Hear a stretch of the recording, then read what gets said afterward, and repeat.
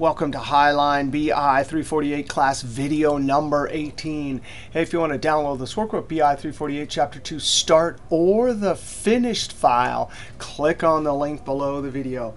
Hey, we want to talk about frequency distributions, percent cumulative frequency distribution, and a histogram chart with our percent cumulative frequency line. But unlike last video, where we use the frequency function, we want to use on the data tab the data analysis feature. Now, this is going to be faster and easier, but the values that are spit out are not formulas, so there will not be dynamic. But the thing is, is that it's much faster than the way we created this solution in last video. Now, how do you get data analysis? Well, it comes in all versions. You just have to go to File, Options, and down in Add-ins, you have to come to the bottom, click Go, and make sure that Analysis ToolPak, spelled with a K,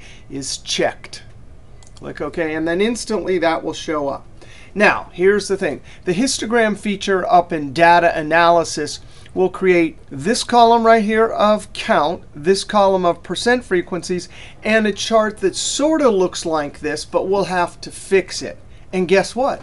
The feature Data Analysis Histogram is exactly like the frequency function. That means we're going to give it upper limits, just like we did last video, and it will count and get the same exact frequency and same exact percent cumulative frequency. Now remember, when we give it 15 upper limits, these are the categories that the frequency function and the data analysis histogram feature always use.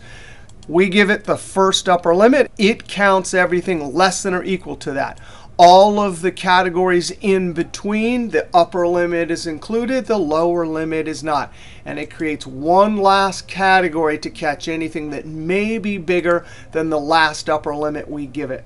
Now I'm actually going to copy all of this, Control C, and I'm going to insert a new sheet right click the sheet insert or you can use the keyboard shift F11 and right up here in cell A1 I'm going to control V now I'm going to point to the the smart tag and say please keep column widths now I'll use control and roll. Now I'm going to go ahead and go up to data analysis and it's the histogram we want.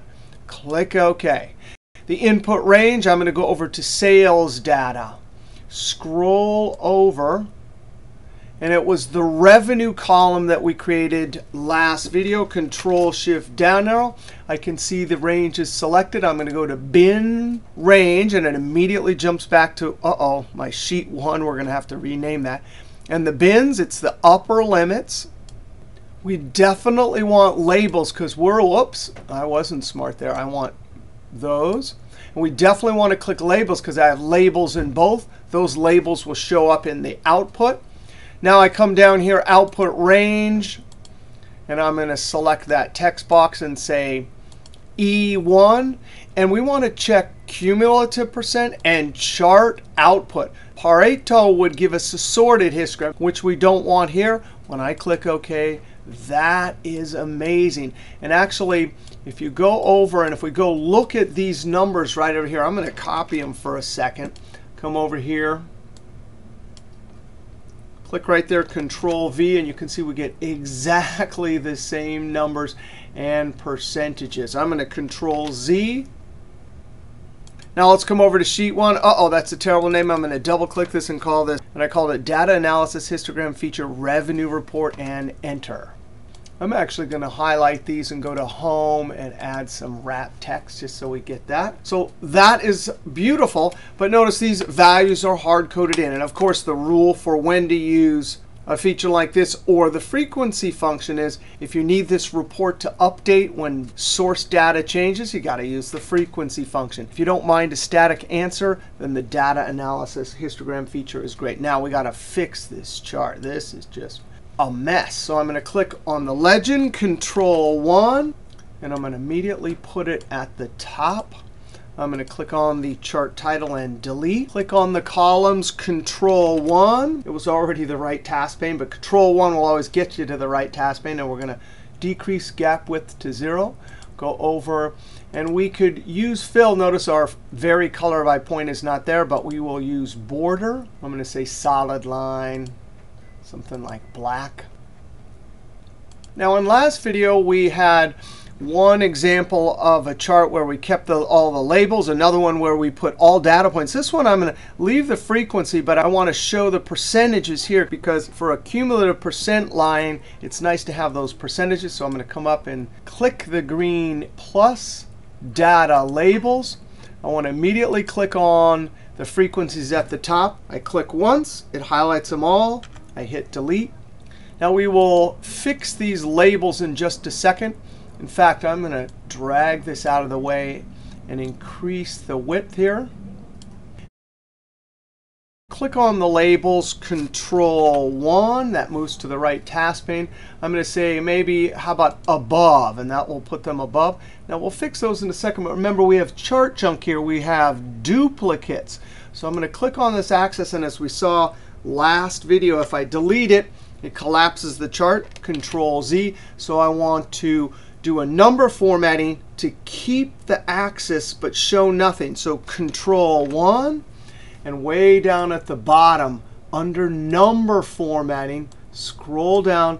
Our trick to show nothing but keep the content is semicolon, semicolon, semicolon. Again, that comes from custom number formatting. There's four sections, positive, negative, zero, and text. By putting the four sections with nothing in it, it will automatically show nothing. So when I click Add, the axis is still there, but there's nothing showing. Now let's maybe increase the height. And I want to do something different here. I want to click once and then click twice. And I actually want to try and drag these down. So I want one above and one below. I don't really know a fast way to do this. But we'll have an end result that looks pretty good. I don't want those leader lines, so I'm going to come over to our task pane. Click on the columns. Remember, you have to kind of click around sometimes in 2013 charts. Label options, and I'm going to uncheck Show Leader Lines. Click and drag. Notice I have one of the labels, so I'm allowed to do something to just one of them.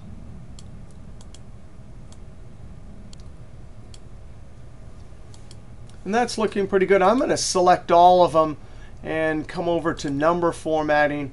Maybe I want to decrease the decimals by 1, so I'm just going to type my number formatting 0.0% symbol add.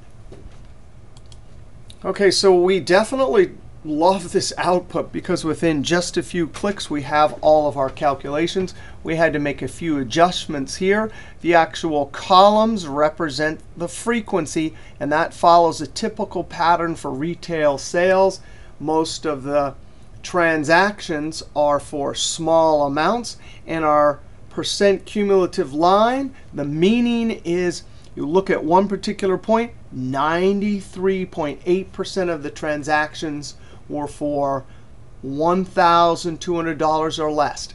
70, about 77% of the transactions were for $600 or less.